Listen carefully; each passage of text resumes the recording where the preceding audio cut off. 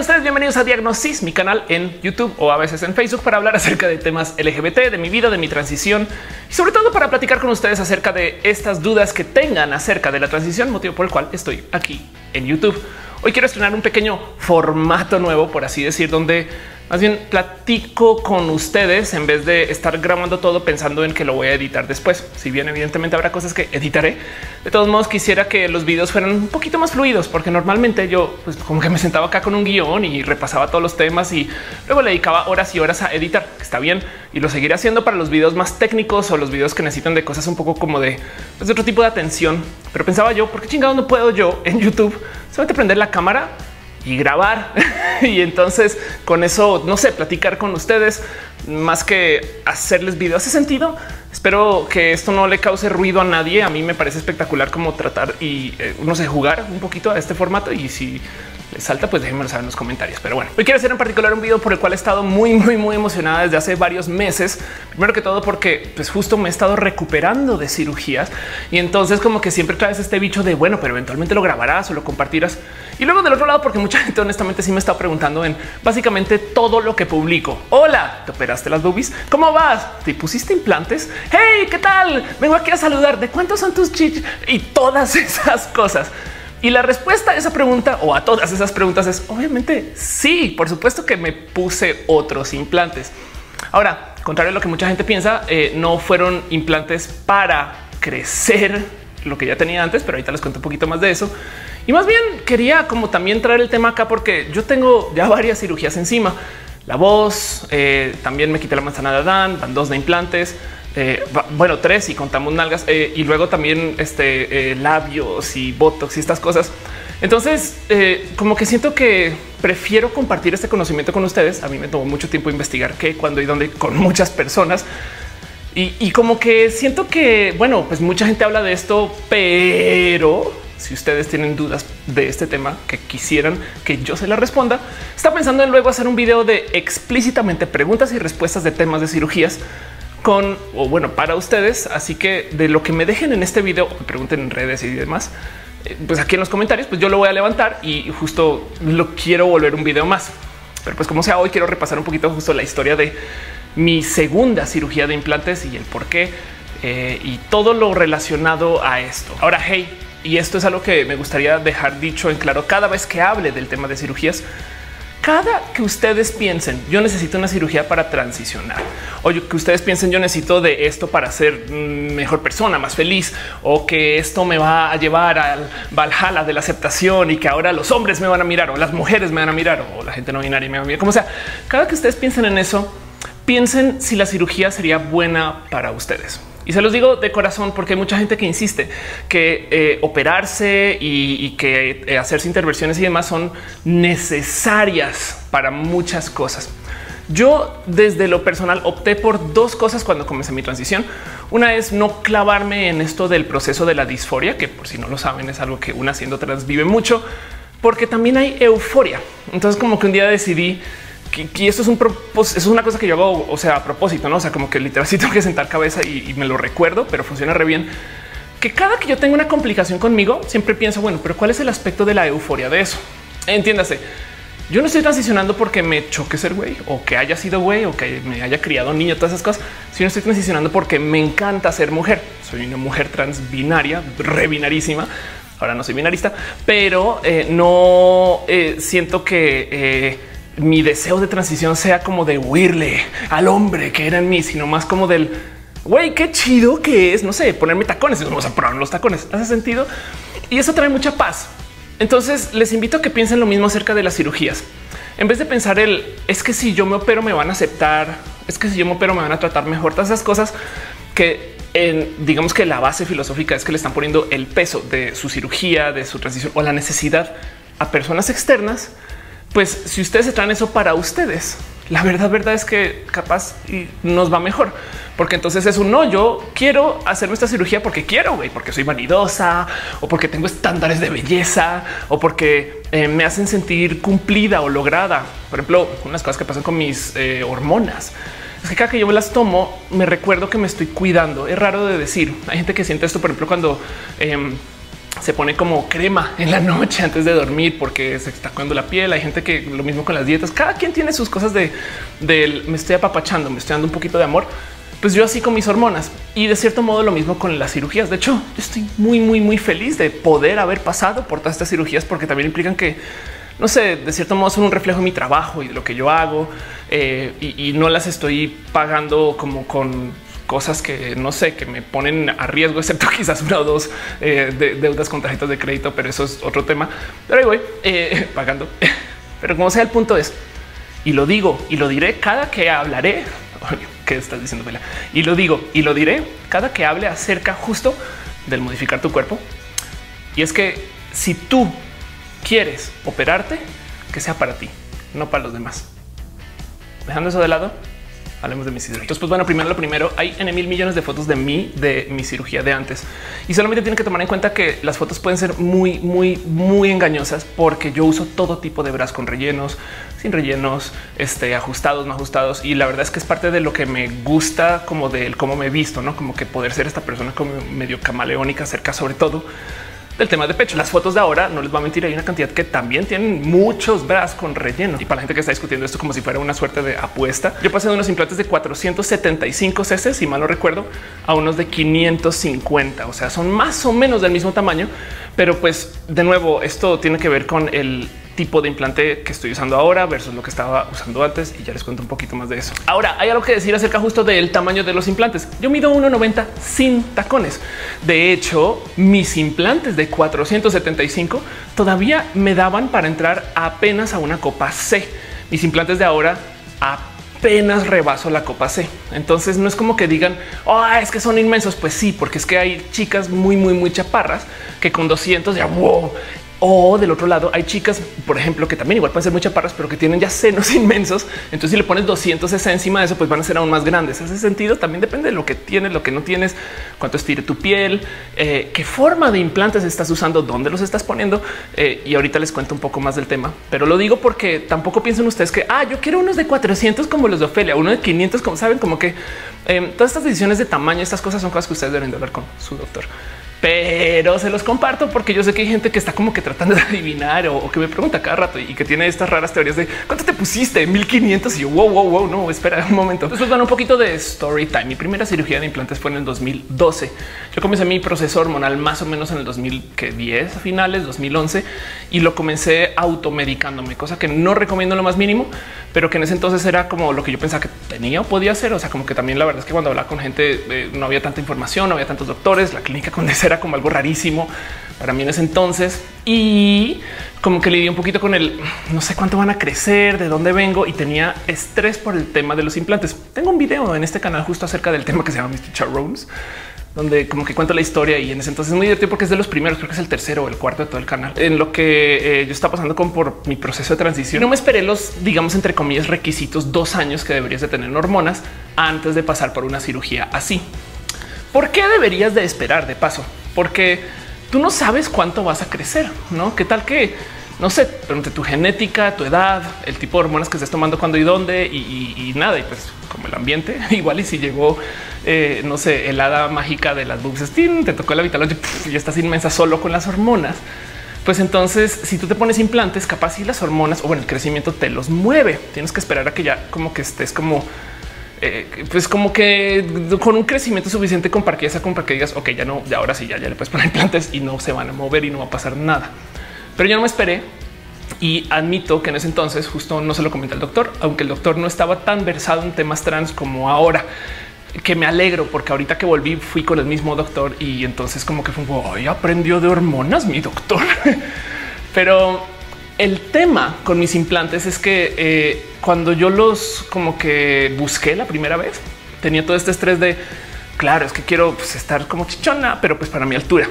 Y me acuerdo que en ese entonces yo tomé las medidas de la modelo, por así decir, que es el 90, 60, 90. Ese 90, 60, 90, si mal no recuerdo, alguien corríjame si sabe estos datos, técnicamente son medidas para una mujer de un metro, eh, eh, creo que 75 o si no un metro 80. Entonces, como yo mido 1,90 sin tacones, yo lo que hice fue que traté de como de extrapolar. Y entonces, eh, saben como que esas son las figuras. Técnicamente, si quiero mantener esa como eh, eh, diferencia ¿no? de medidas, pero pues para una persona de mi vuelo, de mi altura. Entonces, pues tendría que ser así como 94, 62, 94. Me estoy imitando los números, pero para que entiendan, ¿no? Y entonces sobre eso luego comencé a jugar con explantes. Los explantes son básicamente eh, pues siliconas que te pones, pero que tienen como la forma y hoy en día son re fáciles de conseguir. En ese entonces, además, debería ser un video solo de cuando compré mis primeros explantes, porque fui a hablar con un güey a una tienda súper así de que golpeas en la puerta y a quién buscas a Carlos, el de los ex. Y entonces entras y te los pasas así como debajo de la mesa y fue como muy como este dudoso. Pero el caso em, es que justo yo calculé mis explantes para que dieran esas medidas y ya sabiendo eso, eh, bueno, uno los usé por un rato para ver cómo me sentía, el peso, no acá adentro, todas esas cosas. Pero luego dos, fui con el doctor y le dije, así como fuera, abajo de la piel. Entonces él tomó sus medidas, hizo como su cálculo de más o menos cómo y cuánto eh, debería de estar eh, poniendo ahí. Y eso hizo. Los implantes deberían de durar, digamos que entre que tengo entendido que son como unos 10 a 20 años, un chingo de tiempo eh, sobre todo eh, estos, mm, o sea, ya en 20 años ya a huevo los tienes que revisar y ver si todo está bien, pero como que se recomienda que a los 10, hasta donde tengo entendido. Y entonces, eh, justo lo que yo como que tenía en mente era, pues no sé, darle ese tiempo y ya. Pero pasé por un tema donde resulta que los implantes que tenía los anunciaron que estaban retirando del mercado. Y el cuento es el siguiente, pero estoy, hablando de que esto es de la marca exacta de los que ya tenía. Resulta que los implantes que usan ese entonces son unos implantes súper cool porque son implantes de lo que se llama texturizados. Entonces, eh, en cuanto te los ingresan, como tiene una texturita encima, lo que hace tu cuerpo cuando tienes implantes es que genera una como respuesta de, pues como pues, para tratar de encapsularlos, literal, se llama una cápsula y esa cápsula que es una forma de cicatriz, por así decir, entonces ahí se posiciona y se queda. Si tus implantes son muy lisos o muy suaves o eh, son muy líquidos, eh, eh, hay unos en una época que literal puedes cortar y se derramaban. Entonces era todo un tema porque se derramaban dentro de ti. Está hablando como pues, cara hacia los 80, los 90. Em, entonces, pues obviamente es muy importante que la cápsula se forme bien una de las cosas que puede pasar es que la cápsula, por ejemplo, apriete tanto que entonces el implante se vuelve así como todo arrugadito y eso le llaman una contracción capsular. Y hay mil motivos por los cuales esas eh, cápsulas pueden tomar formas raras y, hay mucha ciencia de justo del cómo debes de recuperar y por eso te amarran diferente. Etc. Pero los míos, como tenían esa como eh, cobertura texturizada, entonces como que ya se medio agarraban un poco a tu cuerpo sin que existiera la cápsula y luego se formaba alrededor de eso. Pues resulta que esa cápsula tiene un riesgo estadístico chiquito, pero lo tiene de que generes un cáncer, un linfoma. Y entonces, al parecer, este cuento que no sé si han visto de cómo hay gente que se enferma de tener implantes y es que nada, es que me siento más cansada y es que tengo este tema, no sé qué, es porque el cuerpo reacciona diferente según qué tipo de implantes etc. Y al parecer, en los casos más extremos de la enfermedad de implantes, a la gente, pues como que le aparecían casos de linfoma. Y yo viendo esto, como que entré en pánico de wow, wow, están dentro de mí, güey. Y, como que una cosa es cuando te dicen sí, es que el coche que compré, pues no sé, la este, la, la, el botón para bajar la ventana, la edad de Ofelia, ¿no? El botón para bajar la ventana eh, resulta que está dañado de fábrica. Entonces, pues te lo cambian porque pues es parte del seguro de fábrica, no? Ya un recall y listo.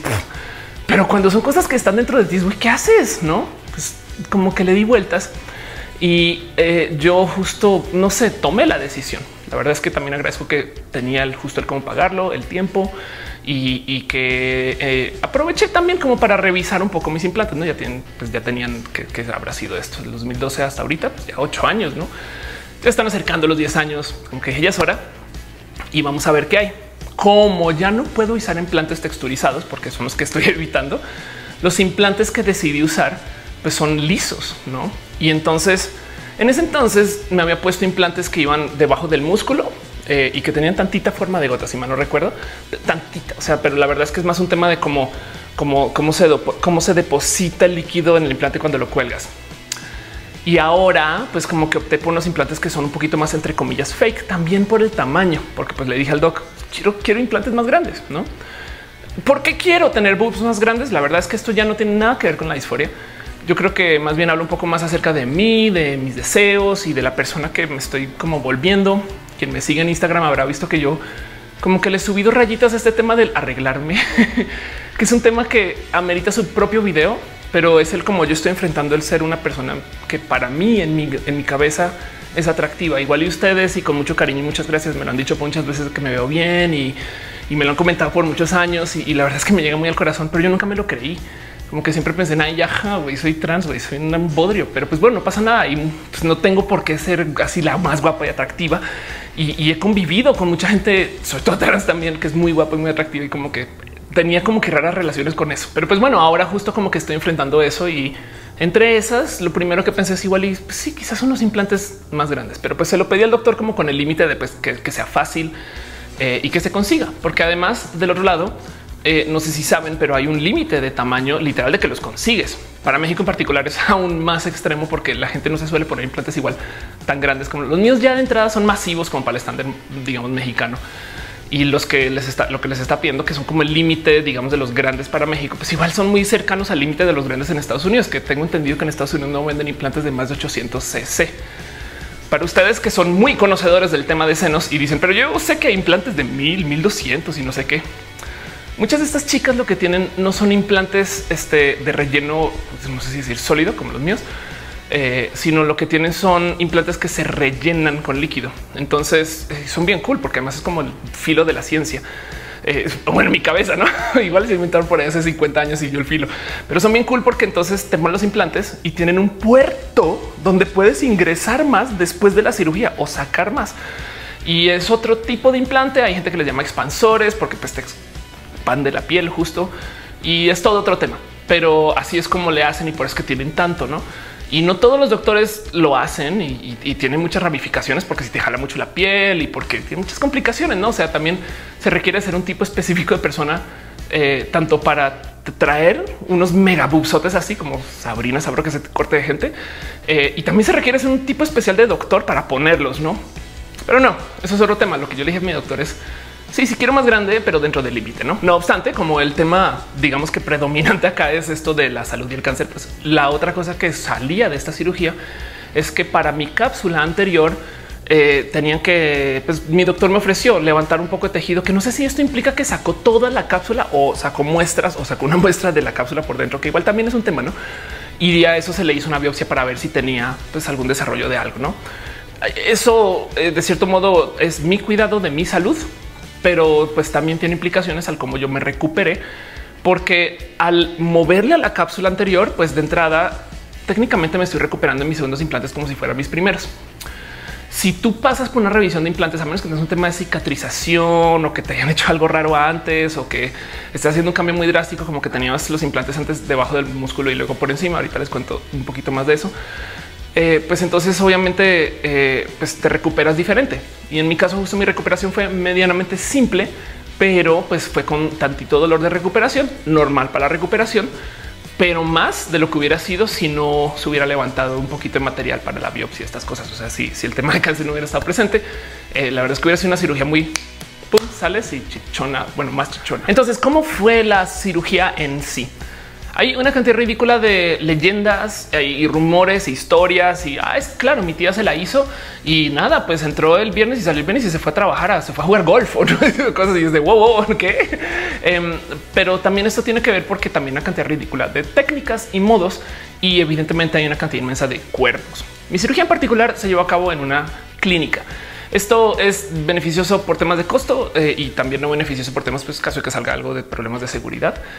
Pero pues esto implica que como la clínica especializada en temas de estética, pues obviamente están listos para este tipo de procedimientos y como que ya saben que vas para eso, como que también he hecho cirugías de temas estéticos en hospitales y, luego tienes como que explicar un poquito. No, no, no, no vengo porque eh, tema súper serio va, sino porque nada, pues son unos boobs. Entonces eh, te hacen madrugar. La verdad es que no sé si un tema de mi doctor, decían todos los doctores, pero las cirugías siempre han sido como muy tipo 6 de la mañana, lo que quiere decir que está llegando ya tipo 5 de la mañana o algo así. Y, pues te duermen, obviamente. Y hay mucho que decir acerca del sueño de anestesia. Hay gente que he leído o sé que se vuelve adicta justo a este tipo de consumo de, de, es anestesia general. Pero, pero eso es otro tema, nada que ver con este video. Más bien lo traigo aquí porque si algo les puedo decir es mis mejores horas de sueño han sido anestesia. Es raro de explicar. De paso, yo tengo un poquito como de trauma con este tema porque eh, creciendo y esto de los que pues, era 10 años o 12 años máximo, me acuerdo que una amiga muy cercana de mi madre murió eh, justo anestesiada por un mal anestesiólogo y no sé exactamente cómo fue la situación porque es muy joven, pero pues siempre lo traigo presente, no como que siempre entro a estas cirugías pensando, pues ya esta fue y pues viví el tiempo que viví muy feliz. Obviamente eh, soy súper dramática con esto. Como ya había hecho mi cirugía antes con el mismo doctor, también tuve a la misma anestesióloga. Entonces yo me dijo, hola Ophelia, ¿cómo vas? Me acuerdo de tu cirugía anterior. Y entonces tenía mis números de antes y se compararon con mis números de ahora. Y, pues fue como bonito. Eso da mucha paz, aparte de la paz del dormir.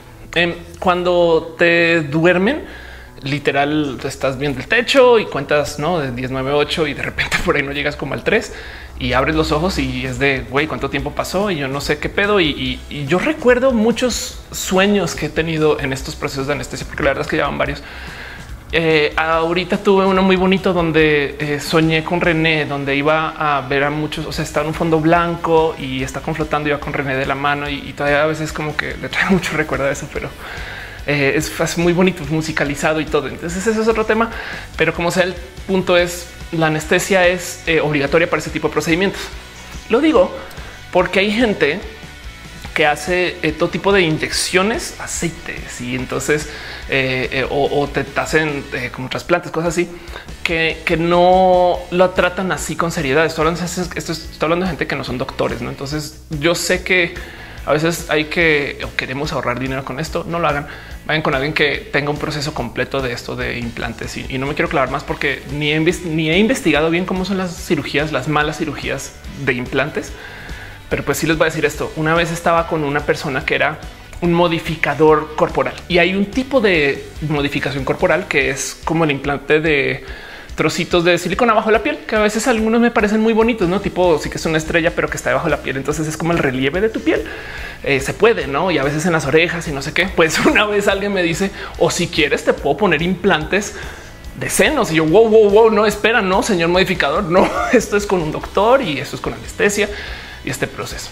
Pero bueno, por eso lo digo. Yo sé que hay gente que hace todo tipo de cosas raras pero pues como sea, justo eh, yo pasé por una clínica que estaba hecha para esto y, me retuvieron ahí después de la cirugía hasta que estuviera muy bien para poder salir. De hecho, entré pues justo como a las cinco tantas de la mañana y a eso de las que habrá sido seis de la tarde estaba saliendo y eso que yo me quedé mucho más tiempo porque me quedé vagabundeando en la clínica básicamente.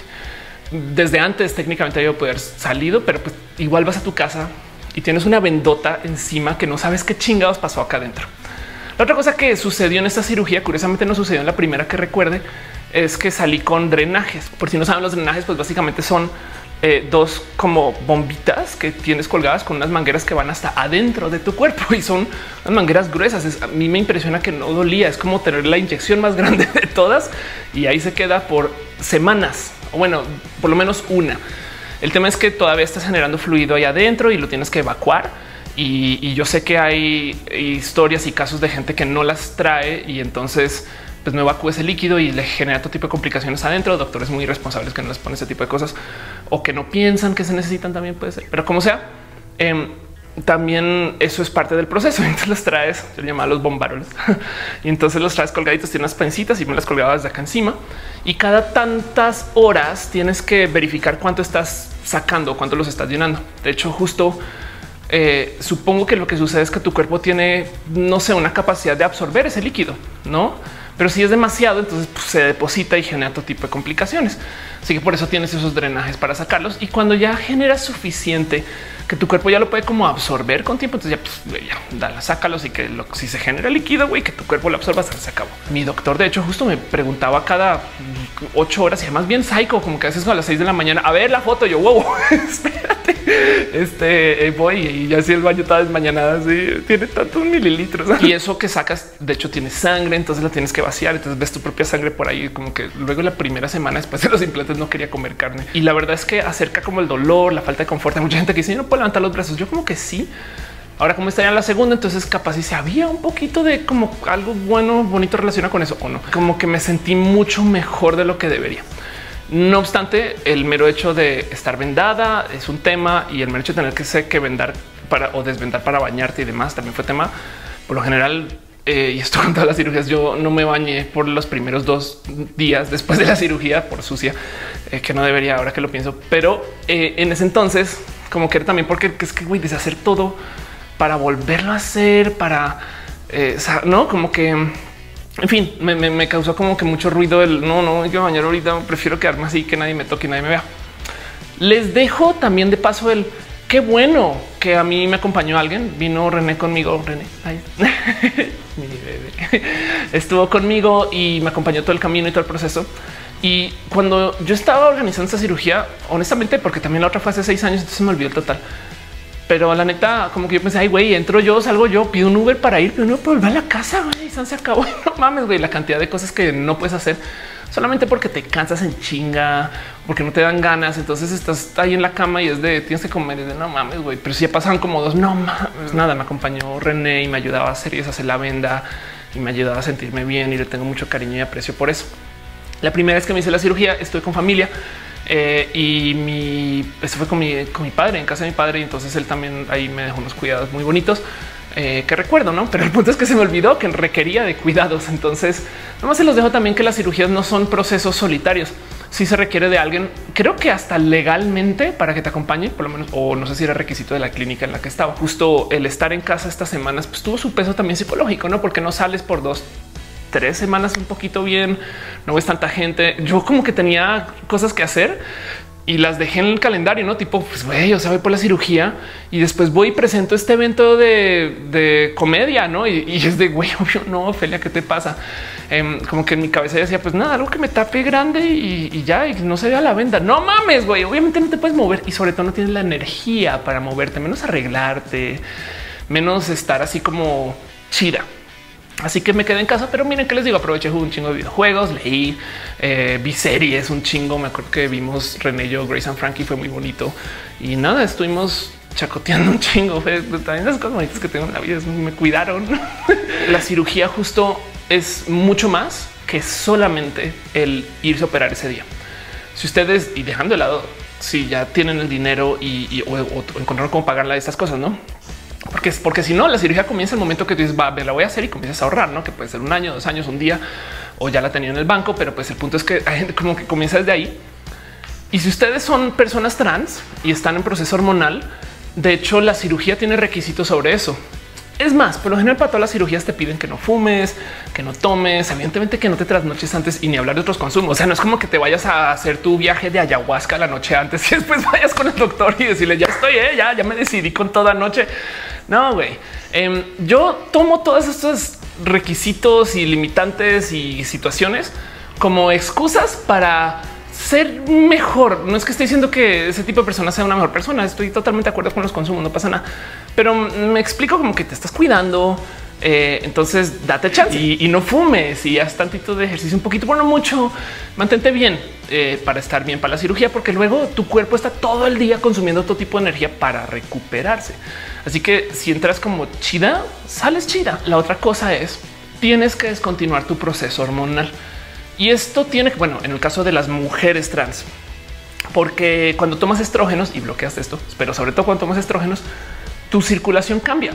Si ustedes no lo saben, cuando tomas estrógenos o cuando comes tu terapia de reemplazo hormonal, comienza a tener todo este tipo de raras complicaciones de la mujer, la verdad. Eh, venas que se como ven, no es más, hay riesgo altísimo de vena varice. De repente, como que te da mucho frío porque tienes circulación diferente. Suele ser mala circulación. Hay una cosa que alguien me decía el otro día que es si se me decía Ophelia, te has percatado que las chicas cuando entran a la cama como a dormir, eh, de repente las manos y los pies se les ponen como bloques de hielo. y yo pensaba, eso es tan de niñas, güey. Sí, eso es verdad pues me comenzó a pasar a mí justo con mi proceso hormonal y es por eso, por ese tema de la mala circulación. Es más, a veces durmiendo se me duermen los pies muy, o sea, qué ironía, pero saben, este eh, no lo siento, entonces los tengo que mover y, y, etc. También de paso, este es uno de los motivos por los cuales la gente trans, las mujeres trans, sobre todo, perdón, eh, suelen o solemos ser como no quiero decir huevonas, pero no tan aptas para el ejercicio, porque como tienes mala circulación, entonces como que tu cuerpo, pues la neta, neta, no estás así como wow, güey, quiero hacer mi cosa, solo te quieres echar en la cama y ya. Y por consecuencia coagula súper requete mega diferente. De hecho, sé de mujeres trans que tienen brazaletes que dicen estoy en tratamiento hormonal. Yo tengo uno de esos brazaletes no para uso diario, sino para cuando mi, ando en mi moto. Mi moto dice tratamiento hormonal, tomo estrógenos, porque esto de entrada me hace una persona muy diferente para temas de transfusión de sangre o, por si ven que me estoy sangrando no descuido. Pues claro, porque es que coagula diferente porque tiene estrógenos y espero que el doctor o el, operador de el técnico de emergencia que me tope entienda de estas cosas. Espero, pero pues igual uso el brazalete. Y es porque justo coagulas diferente cuando tomas estrógenos. Entonces lo que te dicen es que tienes que descontinuar el tratamiento hormonal óptimo por tres meses antes de la cirugía. Pero güey, es como no mames, tres meses sin tratamiento hormonal, así disforia es, explotada. Güey, no, no sé cómo que Digo, es lo que se debe hacer, pero el punto es que eh, con que lo hagan uno es tan cool, no? Y esto lo he preguntado mucho y me lo han dicho muchas mujeres trans y cada quien con su tema, pero un mes de no tomar hormonas no es tan grave para la disforia. Bueno, depende de cada quien. Eh, y pues yo sé que hay mucha gente que igual no toma hormonas y, no le pone tanto peso, pero pues el tema es que como que también te cambia un poco, no? Porque si no te estás bloqueando texto, y, o sea, como que si vuelves a, si tú eres una mujer trans que descontinúa su tratamiento hormonal, es el equivalente de que si a una mujer cis, pues la testosteronizan. Me explico, de repente llegar a cualquier mujer que no es trans, inyectarle testo a ver qué se siente cool, ¿no? Em, y entonces pasan cosas, ¿no? Cambia como hueles un poco, sudas diferente, esas cosas, eh, bellitas, Pero bueno, un mes capaz y no, no es tema. Em, y cómo se ajusta, se ajusta con ese tema del estar con el cuerpo lo más limpio posible, estar lo más preparada. Saliendo de la cirugía, pues también tiene este tipo de como complicaciones de que comer. No, a mí honestamente nada me apetecía. Yo no le tengo mucho gusto a la comida en general. Tengo anosmia. Eh, o sea, mi capacidad de olfato es muy, muy mala. Entonces la comida me sabía nada casi siempre. Em, entonces como que la comida no me atrae en general y es un tema porque René, por ejemplo, es muy, muy fan de la comida y entonces es tema, pero pues es bonito para mí compartir con la gente acerca de lo que sabe eso, ¿no? Y que me lo describan. Que la comida no me sabe, pero entonces si normalmente no me apetece saliendo de la cirugía, no me apetecía es nada. O sea, ya, güey. Ok, ya. En fin, el costo del proceso, si lo quieren ver en tiempo, eh, pues es una cosa de casi un mes, no como entre lo que dejas de hacer todo lo que te preparas, vas, entras, te recuperas y sí, a las dos semanas ya puedes estar dándole. Si tienes un trabajo muy de oficina, puedes, pues, si tienes home office aún más. Pero la neta, neta, como que es como hasta el mes, a las seis semanas ya puedes decir ya, güey, ya puedes hacer lo que quieras con tus chichis. Pero a los como dos, tres días no es como que puedas volver a trabajar, que mucha gente dice que sí. Y a lo mejor están hablando de otro tipo de implantes y, no, por ejemplo, un implante de debajo del músculo, pero eso es otro tema. Luego, acerca de los costos de una cirugía así, pues esto de nuevo varía salvajemente porque hay cuerpos diversos, hay técnicas diversas y además hay, digo, requerimientos diversos. No hay gente que la neta, neta quiere tener unas chichis que no se le vean, no? Y eso lo entiendo un poquito, como que ese tema. Quiero que sean súper naturales, que sean como pues las que siempre he querido tener esas cosas, pero más grandes, no? Y es ok. Y también depende justo de cómo estés entrando a pues, este proceso. Entonces, cada doctor tiene sistemas y métodos diferentes, pero los grandes temas que van a cambiar el cuánto vale la cirugía y, la neta son grandes. Son el primero es, pues, sobre todo el doctor. No hay doctores que ven a tanta gente que le suben a sus precios porque pues ya pueden, no? Y, también son chidos y tienen mucha experiencia y demás. Ahora sí les voy a decir algo. Los implantes creo que son la cirugía más hecha, por lo menos estética, seguramente sí, pero sé que son de las cosas que la gente más se implanta en el cuerpo. Esto no es raro decir, pero es que, por ejemplo, no sé, por ejemplo, el, dispositivo intrauterino, el DIU, eh, es una de esas cosas que la gente se implanta. Y, los implantes de senos como que están a ese nivel, me explico. Y entonces mucha gente, pero mucha gente los hace. Así que tampoco es como que necesite un doctor súper cool, pero pues sí hay doctores de doctores. Desde lo personal, mi doctor en particular es un doctor que tiene muy, muy buen trato, no solo conmigo, sino con la gente trans y es cool. Me cayó muy bien y lo conseguí porque era tuitero. en ese entonces, de hecho, en el 2012 no conocía absolutamente nadie, nadie podía recomendar a nadie y, encontré un doctor en Twitter, lo cual entonces de repente pum, me desbloqueó el güey. Lo puedo toquear. puedo ver de sus otras pacientes y de él. Y, entonces ahora está haciendo lives en Instagram. Entonces, como que hay mucho como contacto y puedo, eh, no sé, como compaginar con más información que nadie me va a dar porque no es como que ah, te recomiendo este cuate que tengo de aquí de siempre. No, güey, yo, no tenía cómo conseguir esos datos. Y pues miren, no me está pagando por esta promoción. Le tengo mucho cariño. Yo lo menciono en todos lados. El doctor Iván Silva está en la Ciudad de México, está en la colonia Nápoles, donde yo vivo. Y entonces, eh, de hecho, mi cirugía fue también aquí, no muy lejos. Y fue bonito como de poder encontrar todo eso, así como que encajó todo de una. Pero si ustedes están dispuestos a hacerse su cirugía en una clínica especializada para estas cosas, por favor, entonces el costo va a ser menos. ¿Por qué vale más el hospital? Pues entra porque como es un hospital, tiene procesos diferentes que no están hechos para alguien que solamente quiere uno, como, como que los hospitales están pagando güey, cuentas de mil pisos para mil especialidades, mil doctores residentes, cosas así, no? Y el tema es que si digamos de puro chance hay una complicación en la clínica, hay digamos que 10 herramientas para lidiar con esa complicación, pero en el peor de los casos, digamos que les pasó algo en el corazón no, no sé, me estoy inventando esto. Pues entonces, en el peor de los casos, tienen que llamar a una ambulancia y que les lleve a un hospital.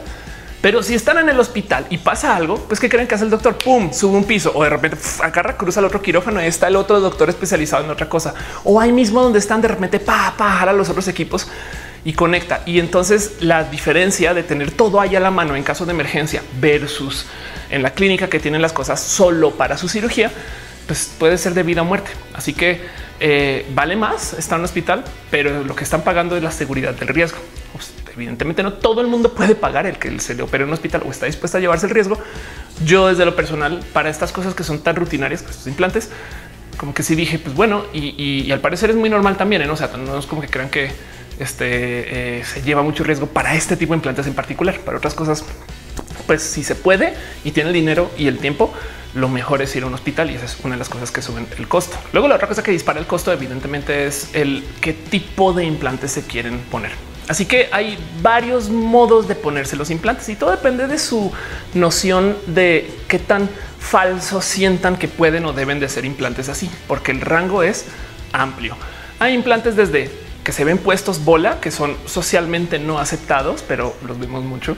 Y hay implantes que son como de gota perfectos que simulan el ser pues, los desarrollos de senos de una persona natural y, aún así son implantes. Y entonces, ¿qué pasa? Pues que hay gente que tiene aceptaciones diferentes de lo natural y lo no natural y no pasa nada. No, o sea, la verdad es que los que son de bola, por ejemplo, se prestan mucho, sobre todo para que sean muy, muy, muy, muy, muy grandes. Estos que les decía que son salinos, que se pueden rellenar, son evidentemente bolas. Y esto depende justo de su medida de estética. Habrá quien juzga por eso, pero para ese chiste hay quien juzga porque tú tengas el cabello un color, las cejas de otro, porque no se ve natural. No mames, güey. No es como que cada quien, cada cuerpo y entonces cada forma. Pero el ponerse los implantes eh, eh, implica justo este tipo de decisiones. Una es me los va a poner encima del el músculo pectoral o el otro es que se lo pueden poner debajo del músculo. Entonces, ¿qué pasa si van debajo del músculo? Que de por sí el músculo les añade un poco de presión y les da tanto de forma porque ya tiene como más o menos esa forma. Eh, y entonces como que se ven un poco más como apretados. Los que están por encima estiran la piel un poco y entonces se prestan para pues, que se vea muy marcado el implante.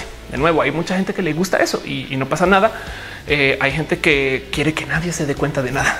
Y luego los implantes en sí son literal con forma de bola y hay unos que tienen una cosa que son forma de gota, que creo que les llaman estéticos. Bueno, en fin, así que puede, eh, o sea, como que el rango puede ser desde forma de gota y debajo del músculo, que es como el, si quieren ver los boobs más caídos, por así decir, pero pues que simulan lo más natural, porque pues los boobs se caen con el tiempo, no igual. Y esté muy, muy, muy arriba, eh, y, que se vea que están puestos, no? Eh, y ahí está memes de eso y demás. Y entonces eh, depende de dónde, cómo y cuándo. Los que están por encima del músculo y por debajo de la piel son al parecer los más fáciles de ingresar. Pues como bueno, la, los pones bye. Mientras que los otros tienen que ir debajo del músculo que tienen consideraciones muy diferentes y entonces puede tomar hasta tantito más tiempo la cirugía y demás. Y evidentemente también pues el tamaño del implante y sobre todo también el material del implante. Por ejemplo, los implantes que yo tenía originalmente tenían justo su forma texturizada, por lo cual se prestaban como para poner como que básicamente que en cualquier lugar y pues no se iban a mover porque como son texturizados y se quedan. Los que estoy usando ahorita para evitar esto de la superficie texturizada, pues son lisos. Entonces ahí tienen más riesgo que se muevan un poco, sobre todo con crecimiento de estas cosas. Eh, y, entonces, este, pues hay que tener mucho cuidado con la recuperación y entonces pues, tienen una forma diferente de ingresar. Y ese es el otro tema. dónde se ingresan los implantes. Si ustedes los ven, son unas masas, o sea, son unas bolas grandes. Bueno, porque 450, pero bueno, también en ching, son unas cosas igual grandes que las ingresan por unas cicatrices que dices neta que por ahí metieron esto. ¿Cómo lo hicieron? Güey. Y así ¡ah! la piel y lo metieron y ahí quedó.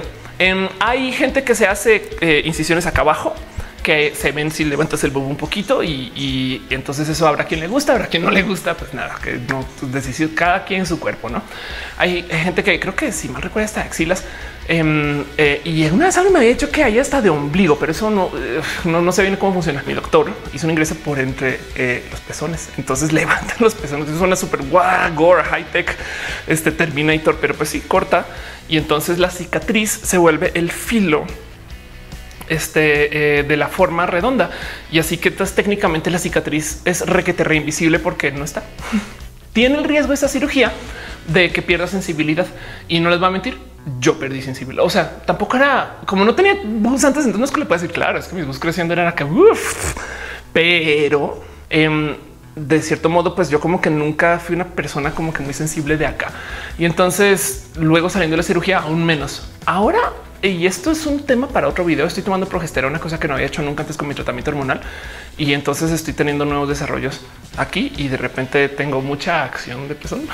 y eso entonces ha hecho que, eh, bueno, en fin, como que igual y mi tema es que no tenía nada de desarrollo antes de ponerme la cirugía, pero poner mis implantes en cirugía. Y eso yo creo que es lo que debía haber esperado, pero ya ven qué atascada, no? Si me comencé automedicando, imaginen. Eh, escuchar esta cirugía en México no es broma desde 20 mil pesos mexicanos, que debe ser eh, este eh, mil dólares, este mm, mal contados, hasta de 200 mil pesos mexicanos, la misma cirugía.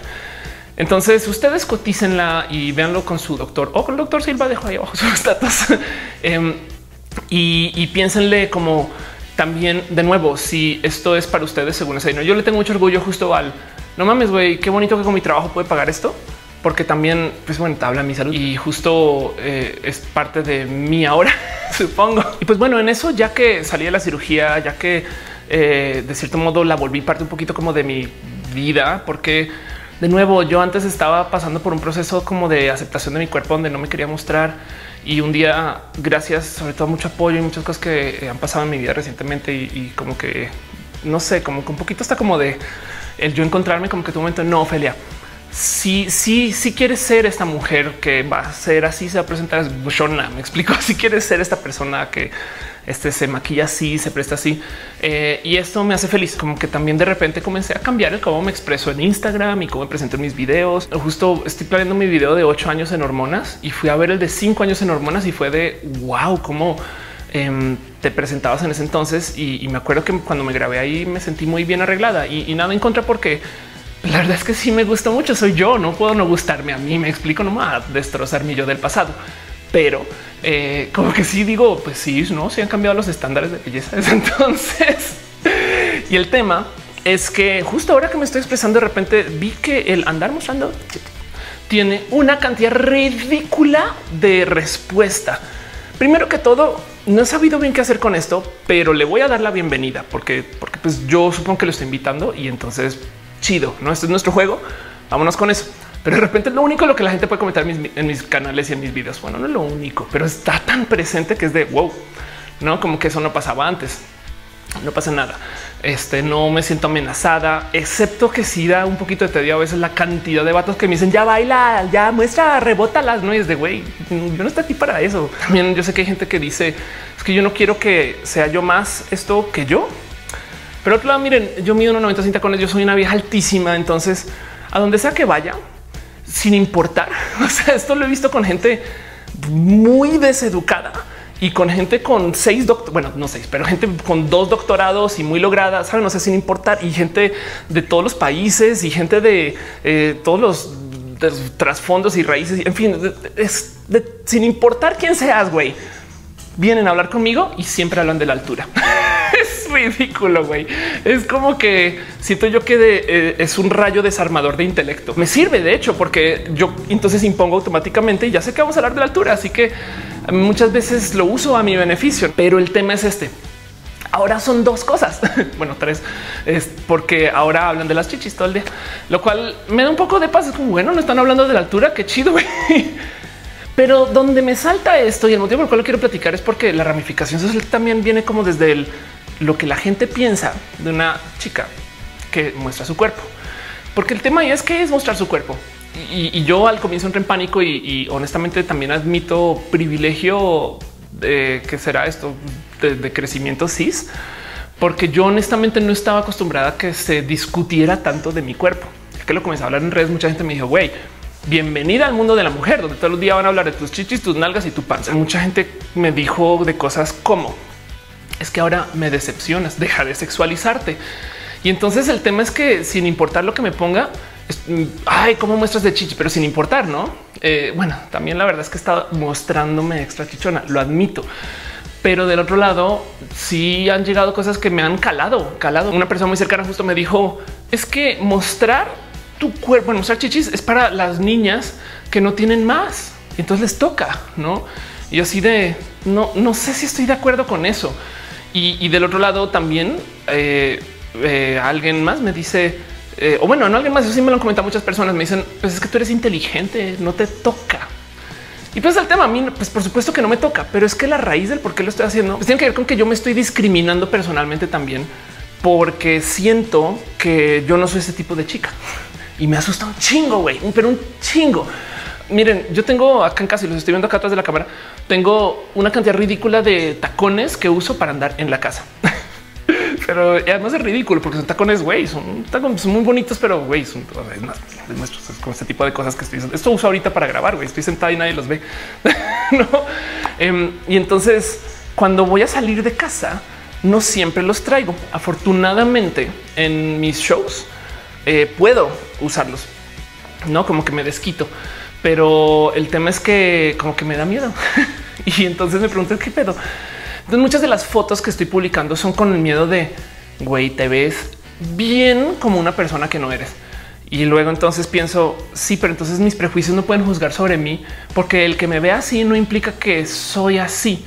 Em, y así debería de ser con todo en general. Hablé con unas, eh, bueno, con una amiga en particular que hace cosplay y le pregunté cómo lidias tú con el tema de que la gente juzga a ti. Me dice, güey, a veces te pones una falda corta que es parte del cosplay. Igual te dicen, hay que mostrar una que estás, quieres vender solo sexo, no? Y es de no, güey.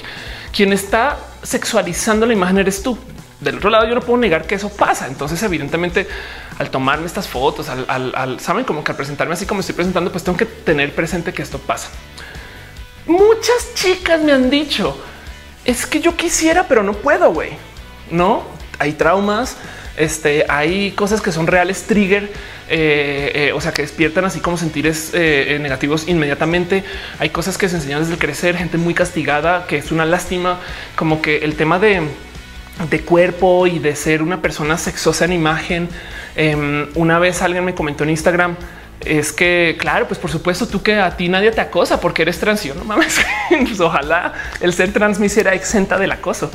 Al revés, yo estoy haciendo esto porque nunca pude. Como que creciendo, para mí el usar tacones creciendo hubiera sido, desde usar tacones, para mí usar el caballo así de largo creciendo eh, era causal de que me corrieran de casa o me regañaran o me dijeran algo. A mí me llevaban a cortar el cabello en contra de mi voluntad. Y entonces le tenía mucho miedo a todo lo femenino y viví en una casa llena de chicas. De paso, no mi mamá, porque mis padres son divorciados. Entonces yo viví con mi mamá, mi hermana, mi abuela, eh, no, y solo mujeres y yo. entonces solo mujeres.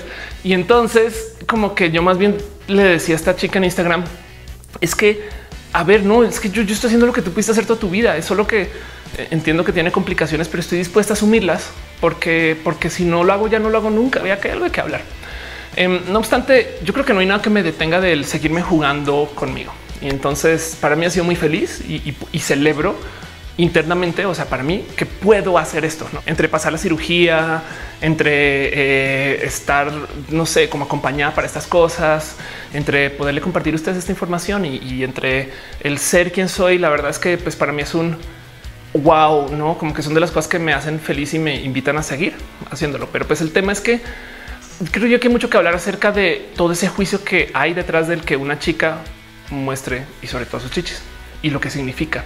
Muchas veces queda por olvidado también que el tema trans de los implantes es que si bien sí, yo, Ofelia, decidí que van a ser por euforia y decidí que van a ser porque este pues son cosas de la humanidad que me hacen feliz.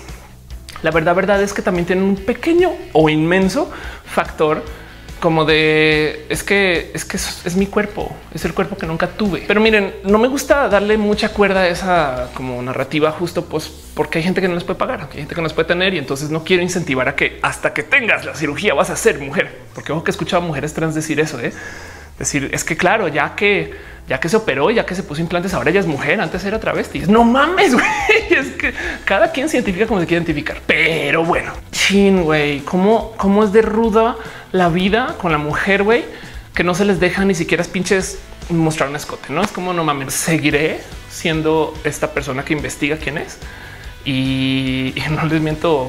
Eh, quizás después pues revise mis implantes nuevamente solamente porque yo estoy alineando el que yo soy esta persona que es sexosa. No sé qué significa eso, no sé por qué me atrae tanto. Em, no sé este eh, qué tipo de ramificaciones puede tener, pero me lo a un chingo. Entonces, como es una fuente de alegría, pues yo voy a perseguir mi alegría. De hecho, por eso transicioné. Yo nunca supe por qué era trans y nunca quería investigar, no? Pero yo sí sabía que era como el llamado del salvaje. Esto me hace feliz. lo voy a hacer más. Y entonces, como es de mí y conmigo, pues ojalá Ojalá y lo pueda seguir haciendo. Pero bueno, todo eso son mis pensares de este tema y se los quería compartir. Déjenme todas sus preguntas del tema de cirugías, no más por dejarlo en dicho. Tengo este sí uso Botox un chingo, uso ácido hialurónico en, en los labios, este nariz un poquito, pómulos de vez en cuando. Tengo pues sí los implantes dos. Em, luego me quité la manzana de Adán, me operé luego la, la voz entera. Tengo feminización eh, de voz y esa la hice en Seúl y, tengo un video entero solo para eso. Y también tengo implantes de nalgas. Entonces puedo hablar mucho acerca del tema de cirugías, donde, cuando estas cosas. Honestamente, primero solo quería responder la pregunta del oye, te pusiste más. Sí, sí, me puse más. Saben como que mucha gente, pero el tema es que la banda lo comenzó a comentar cuando las comencé a mostrar. Digo, suena evidente, pero la banda no había dicho nada hasta que comencé a subir fotos donde evidentemente estaba mostrando los implantes. Y, eso hasta me salta un poco. Es como digo, mis implantes de ahorita no son tanto más grandes que los anteriores. o sea, son virtualmente del mismo tamaño. Así que lo que salta es más bien el ahora soy este corte de persona que se presenta así. Y, es absurdo. Miren, vayan a mis últimos tres videos o en el canal este of course y vean como todo el mundo parece ser que es de lo poquito que me comentan. no a lo poquito. O sea, me comentan de todo y dejan muchas preguntas, pero es, como no sé, 20 preguntas de las boobs y dos del tema y, nada en contra. Pues por eso quería hacer este video, porque justo quiero responder todas sus preguntas y entonces luego hago una de preguntas y respuestas. Y muchas gracias. Si les gusta el formato de habladito versus el formato de super hiper que te mega turbo editado, déjenme también saber pues ahí en los comentarios, porque me gusta más a mí también. Es como no sé, estamos en mi sala. Me explico. Es como este o sea, les muestro aquí atrás tengo ese es mi compu y, saben, y, como que ahí tengo, o sea, estoy literal. Esto es mi depa, güey. Este, estoy aquí mi cama, güey. Así que me gusta mucho el eh, que sea más como personalito. Pero bueno, saben que les quiero mucho. Muchas gracias. Y ya saben, si ven a una persona LGBT por ahí, si tiene un amigo trans o una amiga trans, o si saben de una persona no binaria, o si saben de alguien gay en su oficina, denle un abrazo o digan algo bonito y todo. Hablamos en redes. Los quiero.